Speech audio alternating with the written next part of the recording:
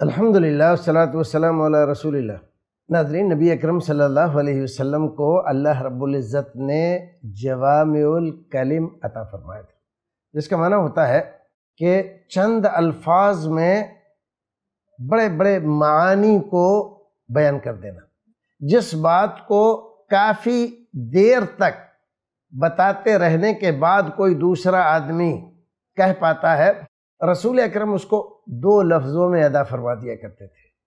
ایسی ہی ایک دعا رسول اکرم صلی اللہ علیہ وسلم نے ہمیں آپ کو سکھائی اور آپ نے اپنی زندگی کا اس کو معمول بنایا۔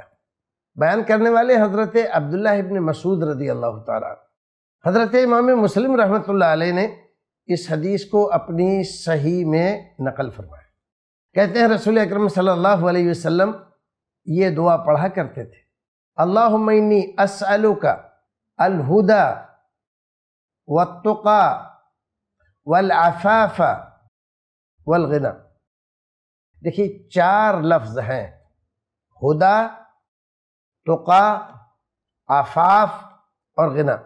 اب اگر آپ دیکھیں کہ ایک انسان کو جن چیزوں کی بہت زیادہ ضرورت ہوتی ہے، وہ ساری چیزیں ان چار لفظوں میں رسول اکرم صلی اللہ علیہ وسلم نے سمیٹ لی۔ ہدا ہدایت کو کہتے ہیں۔ جس کا مطلب ہے کسی بھی طرح کی گمراہی، عقیدے کی گمراہی ہو، عمل کی گمراہی ہو، فکر کی گمراہی ہو، کسی بھی طرح کا اندھ وشواس گمراہی، تاریکی، وہ ہدا کے خلاف ہے۔ وہ دلالت ہے، گمراہی ہے۔ اور تقا تقوی و پرہیزگاری کو کہتے ہیں۔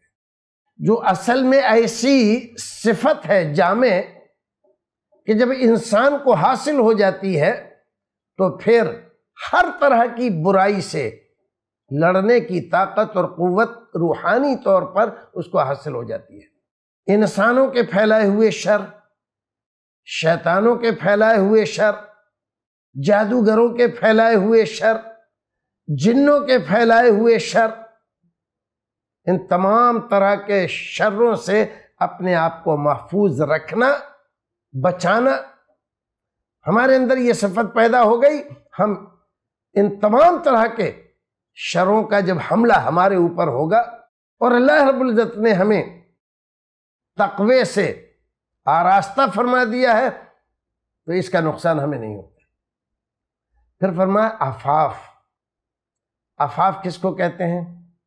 افاف کہتے ہیں پاک دامنی عفت، عصمت۔ اور اسی طرح سے کسی کے یہاں اپنی عزت لٹانا، بیچنا، گرانا، گروی رکھنا، وہ ضمیر فروشی ہو، ایمان فروشی ہو یا عصمت فروشی ہو، کوئی بھی ہو، اس تمام سے بچنے کی دعا۔ پھر والغنا، ایک غنا ہوتا ہے جو ظاہری مالداری کو کہتے ہیں۔ اور ایک غنا ہوتا ہے غنا نفس، جو انسان کو دوسرے انسانوں کے یہاں ذلیل ہونے سے محفوظ رکھتا ہے۔ آدمی بڑی سے بڑی مشکل و پریشانی برداشت کر لیتا ہے، لیکن دوسرے کے سامنے جا کر نہ اپنی خودی بیچتا ہے، نہ اپنے ضمیر کو بیچتا ہے اور نہ اس کے سامنے اپنی عزت نفس کو ذلیل ہونے دیتا ہے۔ تو آپ چاہتے ہیں یہ ساری بھلائیاں آپ کو حاصل ہو جائیں، تو رسول اکرم کی یہ دعا پڑھا کیجیے اللہ منی اسألوکا الہدا والتقا والعفاف والغنا حدیث صحیح ہے اور بیان کرنے والے حضرت عبداللہ ابن مسعود ہیں۔ دعا یاد کر لیجیے اور اپنے بچوں کو بھی سکھا دیجیے۔ ہزار باتوں کی ایک بات۔ خدا تقا عفاف اور غنا ایسی تونگری کہ جس کے ہوتے ہوئے آپ کو کسی کے سامنے ذلیل ہونے کی ضرورت نہ پیش آئے۔ اللهم إني أسألك الهدى والتقى والعفاف والغنى. السلام عليكم ورحمة الله وبركاته.